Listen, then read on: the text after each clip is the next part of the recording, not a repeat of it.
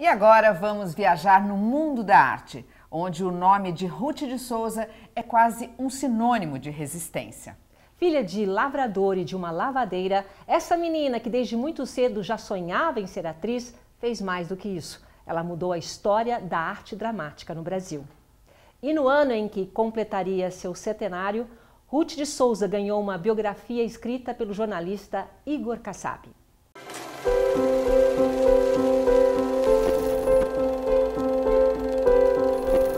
Ruth de Souza nasceu no Rio de Janeiro no dia 12 de maio de 1921.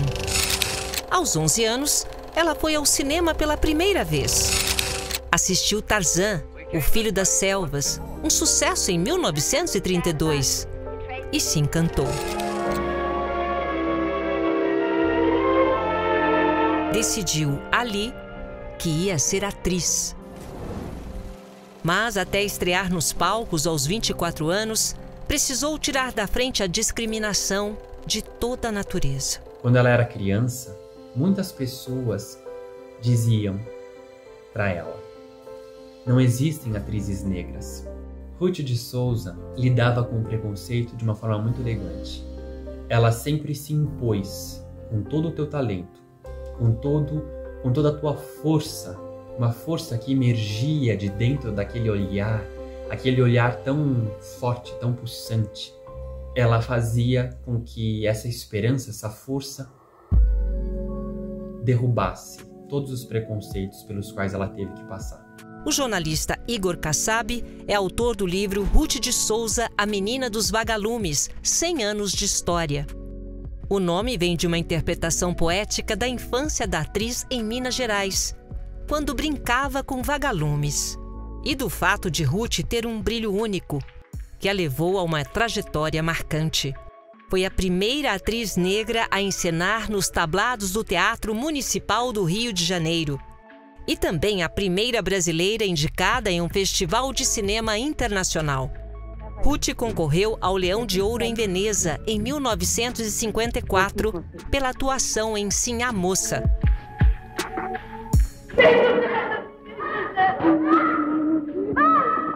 Ela era coadjuvante, ela interpretava uma escrava, a escrava Sabina.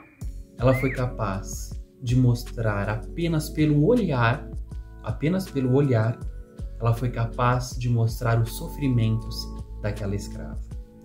E isso é de uma grandeza enorme, porque revela muito sobre a, a grande verve artística que ela possuía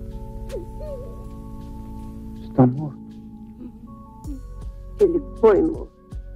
O reconhecimento foi rápido e ela se tornou a primeira artista negra a estampar a capa da revista Manchete. Um feito e tanto, entre muitas conquistas que Ruth chamou de pequenos milagres. Foram 74 anos ininterruptos de carreira. Ela brilhou nos diversos segmentos nos quais ela esteve presente uma das grandes paixões dela era o cinema. Ela esteve presente na, em grandes momentos do nosso cinema, desde a época da Atlântida Cinematográfica, no Rio de Janeiro, depois a Vera Cruz, em São Paulo, a Maristela. Que foi? Vieram buscar os frangos. Diga que espere, já vou. A televisão foi Não. inaugurada no Brasil em 1950. está feito. Em 51, ela já fez o primeiro teleteatro que era um, o embrião, né? Eu costumo brincar que o teleteatro é o embrião das telenovelas. Então, levar textos teatrais para a televisão, gravá-los, toda essa é um tempo de experimentação que a TV brasileira teve, ela já estava ali, presente, atuando. Por seu destaque na dramaturgia, foi chamada de primeira dama negra do teatro, do cinema e da televisão. Ela lutou muito para fazer com que a negritude fosse vista em todos os segmentos. O legado dela para os novos talentos foi justamente abrir as portas que essas novas gerações pudessem ter melhores papéis na dramaturgia brasileira.